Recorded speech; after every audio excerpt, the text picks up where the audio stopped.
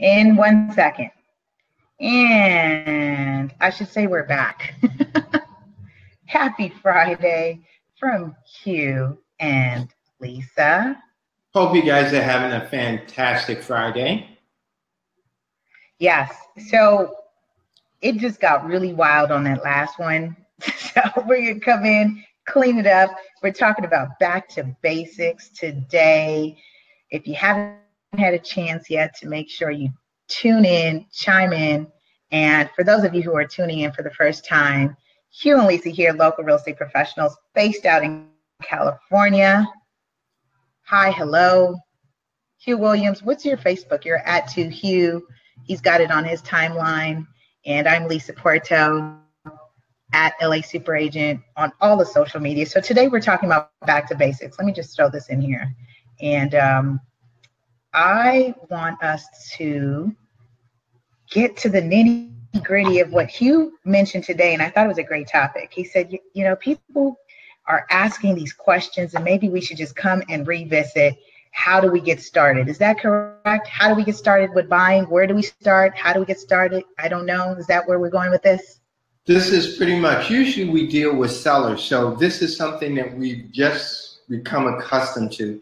And there people are reaching out from our Facebook page, just people we're meeting in streets, and just people who are sending people to us. This is their first point of interest is how do I get started in this market? How do I get in position to buy a house? I've been thinking about it.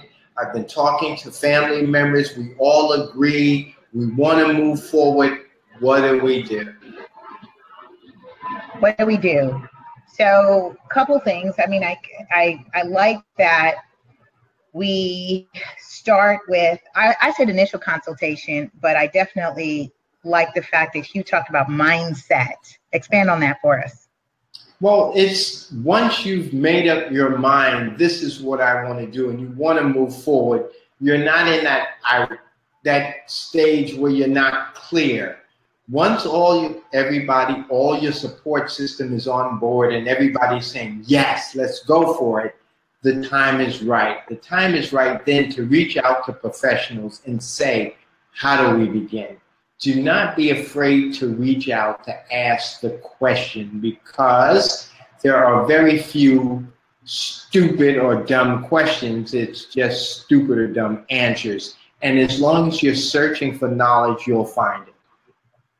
I like that. Ask and seek and knock, all that stuff, and you shall find, receive, and it'll open, all that good stuff. we wanted to, to do a quick synopsis of kind of what that looks like, right? And for those of you who aren't familiar, I've authored the book state terms and concepts to the youth and Could young you adults. show one of your books, Lisa? Please just hold it up. Yeah, absolutely. I'm happy to hold up one of the books. So this is part one.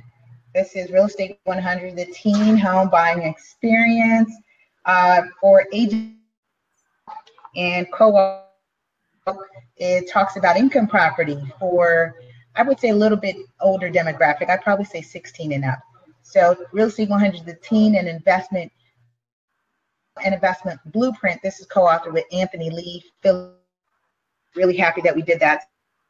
It can be found on my website 100.net, agent.com, all that fun stuff takes you to the same website so that you can buy the literature and the also comes with the workbook and activities and all kinds of fun things. If you're not aware of what I'm doing, go check Birth, this country's organization, introducing this material information for an advocate for real estate literacy for the youth and young. And uh, we do empower careers and all that stuff. Thanks for that plug here, realestate100youth.org. So, and guys, if you have any questions, first of all, please share this information. Just hit the share button, share it with your friends. If they have any information, don't hesitate to just shoot us an email, contact us on Facebook so that we can answer your questions. You, we, you know, we're willing to sort of share the information that we have. So, Lisa? So that right into talking about uh, you talk about sharing. That brings us into where do we get started, right? And we talked about consultation, sitting down with a real estate professional. Most of you will start your search online. Some of you may have people in your circle that I've already, uh, and then with a real estate professional. And if you don't, Hugh and Lee, that number, look, Lisa, right, right there. Feel free to give us a call. and we're happy to uh, be your resource. And having a sit down, it's free and professional helps put a plan in place. I think part two because it talks about the putting a plan in place. Hugh? As far as a plan go, it can be 30 days, it can be uh, three months, it can be 60 days, it can be a year, it can be three months. It's whatever works for you. But if you sit down with a professional, then you can begin to sort of formulate what will work best for you and yours.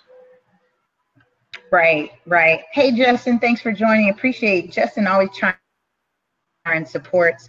And uh, be sure to let somebody know talking about basics. You sit down with a professional and you set that plan in place. And the importance of that plan, and I think we talked about rapport building, rapport building with that agent, especially with what we do, we tend to be long term. We bet we get we tend to be in it post the sale, post escrow, post closing, uh, because there's still there's a lot more that happens in maintaining that property that we want to make sure that we're we're still resource for you. And the importance of the rapport building that we talk about in sitting down is because you're divulging in, in and oftentimes people tend to feel anxious about you. They tend to be nervous about, you know, you know sending off the bank statements, uh, giving copies card, giving your income and your pay stubs and your tax return items that you're going to need to gather if you're financing in order for a lender to take a look you eligible for a loan? Well, that's definitely true. And but these aren't things that should hold you back because you're gonna have to do it anyway. So just get used to it and just take the deep breath and just say, I can do this. Uh, another thing that a lot of people don't understand is right now you can get into a property for little, as little as three and a half percent down on some special programs. You can get in as, as little as one percent. So I mean, when you think about that, that means if you have like ten thousand, twelve thousand dollars sitting around, you can buy a house. Now think about it. On the average job, if you put aside five hundred dollars a month just stop going out, stop hanging out. Just for like six, seven months, you have a down payment. Now, after that six months are over, you can ball out. You can go out every night if you want to. But now you have a home that belongs to you. You have begun to start your generational wealth.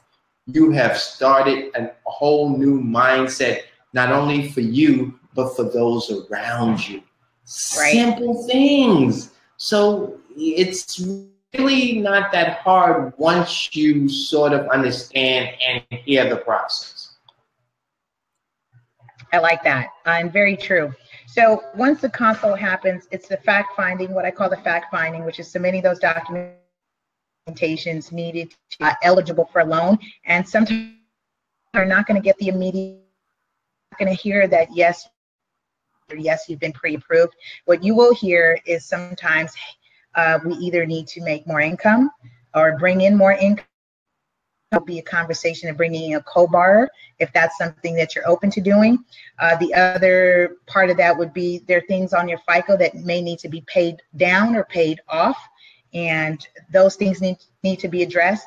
Or it also, like he was saying, down payment, right? So there may be you still need to make up in terms to contribute towards a half percent. And there's various programs. There are various programs that can assist you. It's just you doing your homework and learning the uh, pros and cons to those programs because some of them are income restricted, some of them restricted, and also you want to learn about in terms of silent loan paybacks and all that other information. So do your due diligence, do your homework, ask the professionals, ask the questions. One of the things I talk about in the book is somehow we lost our, our sense of curiosity. Um, as we grow older, we get the hush hush all the time. Here, is that? Do you think we've hushed hushed? That now, as adults, we no longer want to ask the questions because as kids we've been hush hush and don't say that, don't do that, don't you know? So I encourage that. Uh, we encourage that to ask the questions, and oftentimes likes to do is give the notepad and the pen. And what do you do? What do you tell them to do? hey, whenever you think of the question, just write it down, and then uh, the next day, just call us up, call up your professional, and just ask those questions.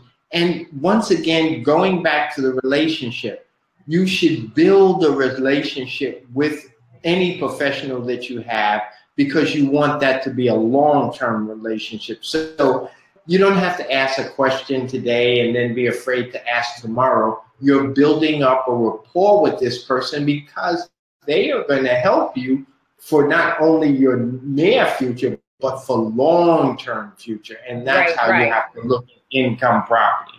That's true. Hugh, let's wrap it up real quick and let's just jump on and let people enjoy their weekend. We just drop some pointers in terms of where to start.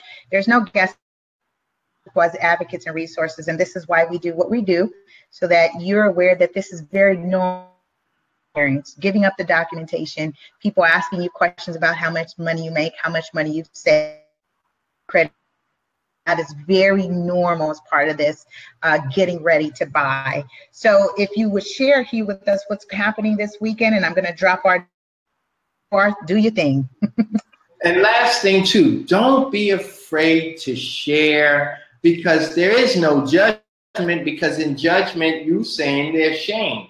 There is no shame because you're moving forward in life. So don't worry about judgment. Just move forward. Judgment is done. Um, this weekend, we have a listing for sale. The address is 4412 Angeles Vista Boulevard. It's in View Park, wonderful section of town. The asking is uh, 135. It's a 4,000 square foot house, three bedrooms, four baths, nice property. Need a small amount of TLC, but the long term gain on this property is amazing. So stop by. We're there on Saturday from one to three just for the neighborhood. But if you're in our circle, you're from our neighborhood. So come on by, say hello, ask any questions that you may have. And on Sunday, we're there from one to four for general public. Awesome. Thanks, you guys, for time today on Friday. We'll see you next Friday. Be sure to subscribe here uh, at LA Super Agent. Subscribe at To Hugh on Facebook. And if you do have questions, feel free to drop it in the comment. And if they're very feel free to DM us. You've got the number or you've got the email, and feel free to connect. We're happy to be a resource resource to you. Remember, Hugh and Lisa helping you make the right move. And just want to say one more thing: clothes for the people in Houston and Miami. If you have any extra clothes, please they're looking for clothing now because a lot of their stuff has been totally worn out, drowned, and everything. So help them out if you can. Uh, Hugh and Lisa, 323 348 1222. One more time 323 348 1222. Have a wonderful weekend.